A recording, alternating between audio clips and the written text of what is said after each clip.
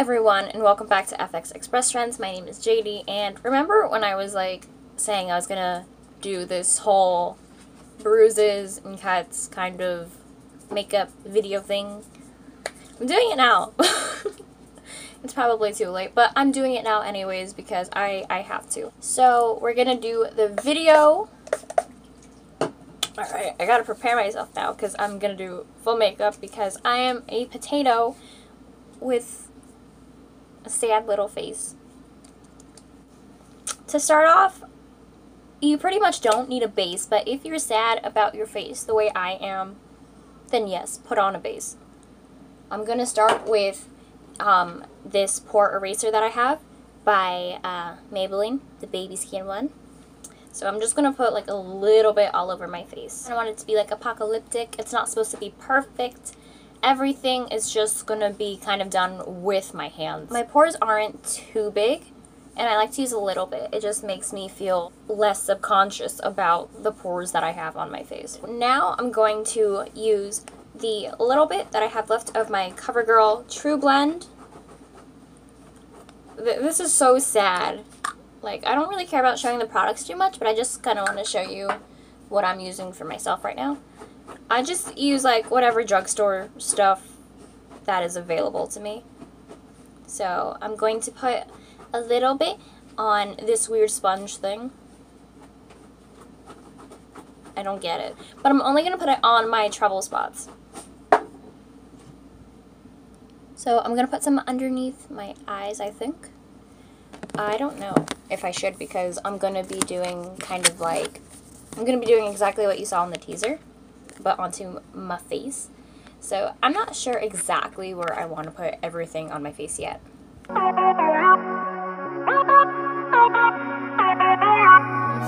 Here is my base, kind of.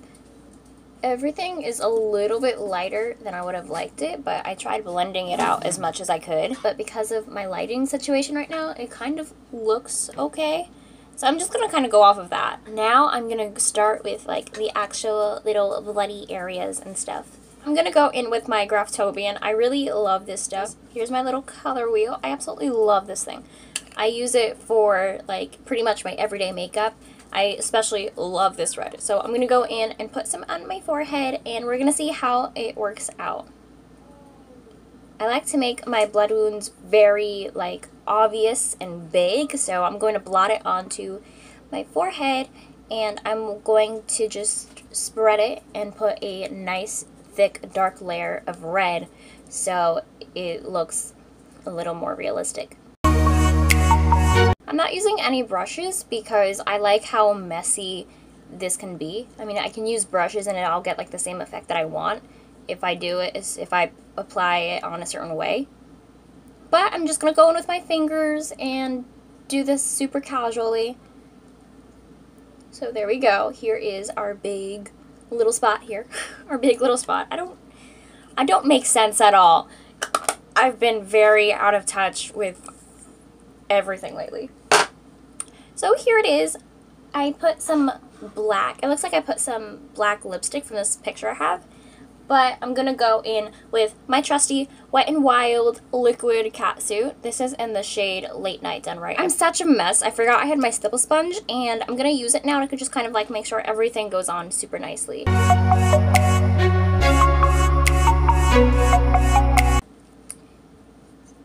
Ew, look how bloody that looks. Ew.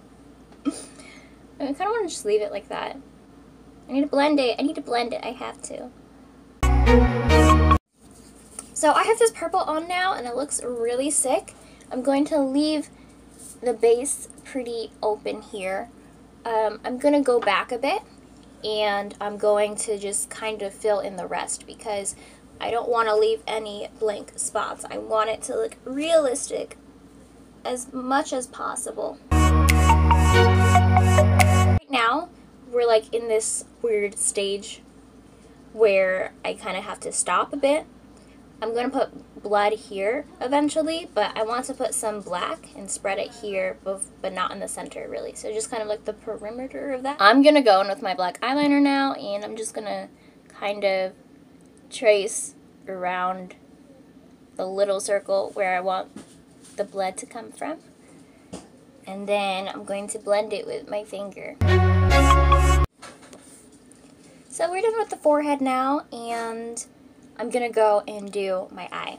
So what I did for my eye is I went back with my Wet n Wild cat suit, and I'm just going to put that underneath my eye. I don't really use this as a lipstick too much because I don't like the consistency and formula of it. So I, I like to use it for what I call detail work on most of my projects. I'm just going to fill it in here, kind of like tears, but it's just going to be like another open wound. And you can see because of the nice like grape color, like it's super rich and blood-like kind of. So I, I love using it for this kind of stuff. If it isn't too late, I'm going to try to line my waterline a bit. So now I'm going to add some more red, just kind of along the sides.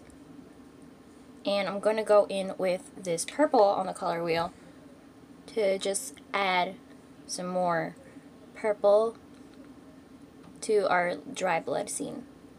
And then of course, I'm going to go back in with the liquid lipstick, see if I can salvage any of the remaining pigment and make it a little more wet, because that's what we want.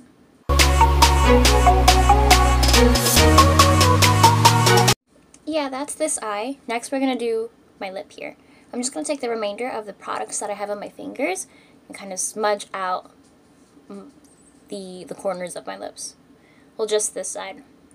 So that's going to be a bit of our base to kind of help me decide how I want to add the purple. So we're going to go in with more of the red and purple from the color wheel and just smear it out as much as we can until we get like this nice berry color. So now I'm just going to kind of get the corner of my lip and smudge the purple on. It doesn't have to be too clean or anything. I'm just going in. Now that our lip looks like it's been beat to death, I'm going to get my stipple sponge and I'm going to do one last pat. So now it's time for the last part. I'm going to go in and black out this part of my eye just a little bit. The black doesn't have to be too intense, but it should look a little bruised here and there. So I'm going to take the black from this Rimmel palette, not that pigmented, so it's it's going to be perfect for this look because it's not, we don't want it to look like extremely black, we just want it to look, a, we just want our face to look a little banged up. So even though it lacks pigment, it's going to help us with this nice charcoaly grayish black color. I'm just kind of smearing the bottom of my eye and I'm extending it a bit. I think I'm also going to get my nose too because I like kind of doing contour like that. And then I'm going to blend it out. And there is the look. Look how crazy that is. I'm going to go and fix up my hair a little bit so it looks a little better. And I will be right back. Alright guys, here is the final look. I made my little butterflies droop a little and I kind of pushed back my flower a bit, but here is the final look. Oh, my butterfly. the butterflies, they flew away. Thank you, Miley Cyrus. Thank you. um, here I am, and I'm, I'm really, I feel really good about this look. I'm finally done. I did this like five times like maybe like once or twice off camera and then th three times trying to record this video all over again. So I hope you guys enjoyed this video. So make sure to like, comment, and subscribe. Let me know what you're doing in quarantine. I'm really interested and I'm also really bored at home.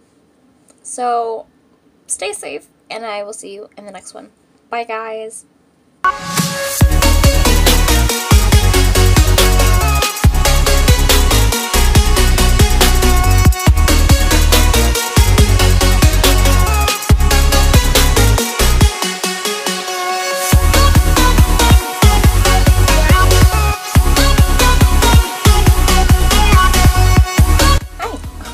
Um, yeah, okay.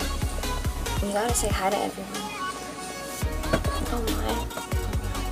Oh my, no, no! Hello everyone, and welcome back to FX Express Trends. oh no! I'm being attacked by a fluffy boy! Say hi! You wanted to bother me, so you have to say hi to them. say hi. Are you camera shy now? No, he can't be. Okay, um, I think I'm, I've been officially canceled. But, um, oh my god, he's so cute! okay, thank you, thank you. I like the kisses.